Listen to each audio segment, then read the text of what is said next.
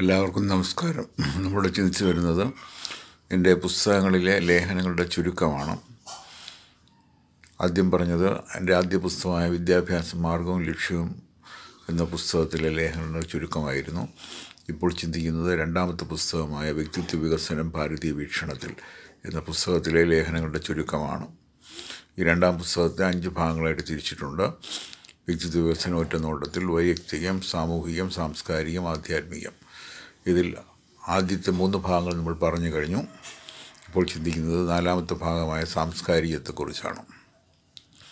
സാംസ്കാരികത്തിൽ കഴിഞ്ഞ ദിവസം പറഞ്ഞത് ശാസ്ത്രവും സാഹിത്യവും എന്ന വിഷയത്തെക്കുറിച്ചാണ്. ഇന്ന് നമ്മൾ ചിന്തിക്കുന്നത് സ്ഥിരോത്സാഹത്തിന്റെ കനികൾ. ഇത് ഈ പുസ്തകത്തിലെ ഇരുപത്തിയെട്ടാമത്തെ ലേഖനമാണ്. ഇങ്ങനെ പറയാറുണ്ട് a tree is determined by its fruit എന്ന് പറയുന്നു. ഒരു മരത്തെ നിർണയിക്കുന്നതിന്റെ ഫലം കണ്ടുകൊണ്ടാണ്.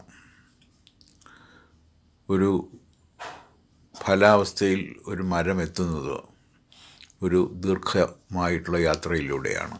വിത്ത് ചെടിയായും ചെടി വൃക്ഷമായും വൃക്ഷം ഫലവൃക്ഷമായും മാറണമെങ്കിൽ അതിനൊരു യാത്ര തന്നെ വേണ്ടിയിരിക്കുന്നു. എന്നാൽ എല്ലാ ഫലങ്ങളും ഫലാവസ്ഥയിൽ എത്താറില്ല.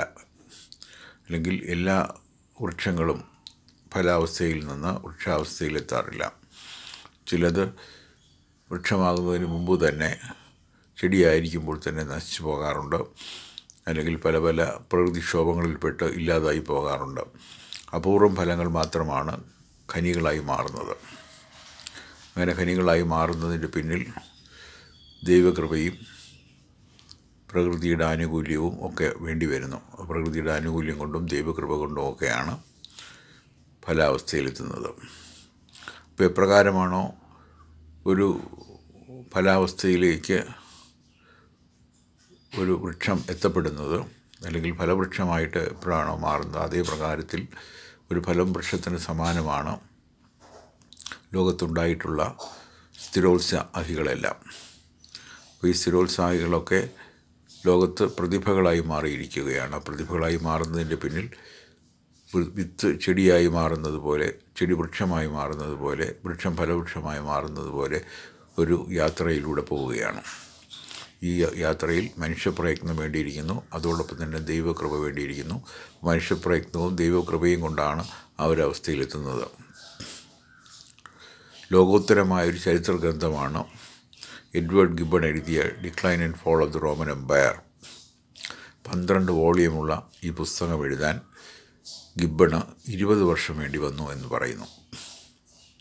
അതുപോലെ ലോകോത്തരമായ ഒരു നോവലാണ് വിക്ടർ ഹ്യൂഗോയുടെ പാവങ്ങൾ. ഈ നോവൽ എഴുതാൻ വിക്ടർ ഹ്യൂഗോയ്ക്ക് ഇരുപത്തിരണ്ട് വർഷം വേണ്ടി വന്നു. ലോകത്തറിയപ്പെടുന്ന ഡിക്ഷണറിയാണ് വെബ്സ്റ്ററുടെ ഡിക്ഷണറി. വെബ്സ്റ്റർക്ക് ഡിക്ഷണറി പുറത്തിറക്കാൻ മുപ്പത്താറ് വർഷം വേണ്ടി വന്നു എന്ന് പറയുന്നു. അതുപോലെ ലോകോത്തരമായൊരു കവിതയാണ് elegy written in country churchyard Thomas Gray എഴുതിയ പത്തറുപത് വരികളുള്ള ഈ കവിത. ലോകോത്തരമായൊരു കവിതയാണ് ഈ കവിത എഴുതാൻ തോമസ് ഗ്രേക്ക് ഏഴ് വർഷം വേണ്ടി വന്നു. അപ്പം അതുപോലെ ലോകോത്തരമായ എന്ത് നമ്മൾ പരിശോധിച്ചാലും അവിടെയൊക്കെ അതുണ്ടായി വന്നിരിക്കുന്നത് സ്ഥിരോത്സാഹത്തിൽ നിന്നാണ്. ലണ്ടൻ ലൈബ്രറിയിൽ ദിവസം പത്ത് മണിക്കൂർ വെച്ച് പത്ത് വർഷക്കാലം വായനയിൽ മുഴുകിയ ശേഷമാണ് കാർൾ മാർക്സ് മൂലധനം എന്ന മഹത് ഗ്രന്ഥം എഴുതിയതെന്ന് പറയുന്നു. അതിനൊരു ദീർഘനാളത്തെ തപസ് വേണ്ടി വരി വന്നിരിക്കുന്നു. അല്ലെങ്കിൽ സ്ഥിരോത്സാഹം വേണ്ടി വന്നിരിക്കുന്നു. അപ്പോൾ സ്ഥിരോത്സാഹത്തിലൂടെയാണ് മഹത്തായ എന്തും തന്നെ ലോകത്ത് സംഭവിച്ചിട്ടുള്ളത്. സാഹിത്യരംഗത്തായാലും ശാസ്ത്രരംഗത്തായാലും ഏത് ഏത് രംഗത്തും പ്രതിഭകളുണ്ടായി വന്നിരിക്കുന്നത് സ്ഥിരോത്സാഹം കൊണ്ടാണ്. സ്ഥിരോത്സാഹത്തിന്റെ ഫലമാണ് എല്ലാ രംഗത്തും നമ്മൾ കാണുന്നത്. അപ്പോൾ ലോകത്തുണ്ടായിട്ടുള്ള ഏത് എടുത്താലും അതിലെല്ലാം തന്നെ വ്യാസൻ കടന്നു വന്നിട്ടുണ്ട് എന്ന് പറയുന്നു. വ്യാസോച്ചിഷ്ടം ജഗത് സർവം എന്ന് പറയുന്നു. ജഗത്തുള്ള എല്ലാം വ്യാസൻ തൊട്ടതാണെന്ന് പറയുന്നു. വ്യാസൻ തൊടാത്ത ഒന്നുമില്ല എന്ന് പറയുന്നു. അപ്പോൾ അത്തരത്തിൽ മഹത്തായ കൃതികളൊക്കെ സംഭാവന ചെയ്ത വ്യാസന് അത് സംഭാവന ചെയ്യാൻ ഒരായുസ് കൊണ്ടോ പല ആയുസ് കൊണ്ടോ സാധ്യമല്ല. അങ്ങനെയുള്ള കാര്യം സംഭാവന ചെയ്തത് വ്യാസനാണെങ്കിൽ വ്യാസന്റെ പിന്നിലും പ്രവർത്തിച്ചിട്ടുള്ളത് സ്ഥിരോത്സാഹമാണ്. സ്ഥിരോത്സാഹത്തിലൂടെ ആയിരിക്കാം ശങ്കരാചാര്യർ നൂറിലേറെ കൃതികൾ സംഭാവന ചെയ്തത്. ശങ്കരാചാര്യരാകട്ടെ വ്യാസനാകട്ടെ വാൽമീകിയാകട്ടെ ഇവരൊക്കെ തന്നെ അനേക സംഭാവനകൾ നടത്തിയിരിക്കുന്നത് സ്ഥിരോത്സാഹത്തെ തുടർന്നാണ്. സ്ഥിരോത്സാഹത്തിന്റെ സംഭാവനകളാണ്. ലോകോത്തരമായ കൃതികൾ സംഭാവന ചെയ്ത കവികളും സാഹിത്യകാരന്മാരുമെല്ലാം. അപ്പോൾ അവർ പ്രവർത്തിച്ചിട്ടുള്ളത് സ്ഥിരോത്സാഹത്തിലൂടെയാണ് ഇപ്പോൾ സ്ഥിരോത്സാഹത്തിന്റെ കനികളാണ് നമ്മൾ അനുഭവിച്ചു കൊണ്ടിരിക്കുന്നത്. അപ്പോൾ സ്ഥിരോത്സാഹം എന്ന് പറയുന്നത് വളരെ ശ്രേഷ്ഠമാണ്. ആ ശ്രേഷ്ഠമായ സ്ഥിരോത്സാഹത്തിലേക്ക് ഒരാളെ പിടിച്ചു നടത്തുന്നത് രണ്ട് കാര്യങ്ങളാണ്. ഒന്ന് ദൈവകൃപയാണ് വേറൊന്ന് ഒരുവന്റെ പരിശ്രമമാണ്. പരിശ്രമവും ദൈവകൃപയും ചേർത്ത് വെച്ചുകൊണ്ട് മുന്നേറുമ്പോഴാണ് സ്ഥിരോത്സാഹത്തിന് ഫലമുണ്ടായി വരുന്നത്.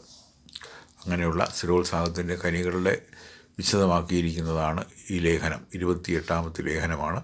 ഇരുപത്തെട്ടാമത്തെ ലേഖനത്തിന്റെ തലക്കെട്ട് തന്നെ സ്ഥിരോത്സാഹത്തിന്റെ കനികൾ എന്നുള്ളതാണ്. അപ്പോൾ ഈ ലേഖനം നമ്മൾ വായിക്കുകയാണെങ്കിൽ ലോക രംഗത്ത് സ്ഥിരോത്സാഹത്തിലൂടെ മുന്നേറിയിട്ടുള്ളവരെയൊക്കെ നമുക്ക് പരിചയപ്പെടാൻ പറ്റും. നിങ്ങളോട് സംസാരിക്കാനുള്ള അവസരമൊരുക്കുന്ന. ദൈവത്തിനും ഗുരുവിനും നന്ദി പറയുന്നു. എന്റെ വാക്കുകൾ ശ്രമിച്ചുകൊണ്ടിരിക്കുന്ന നിങ്ങൾക്ക് എല്ലാവർക്കും നന്ദി നമസ്കാരം.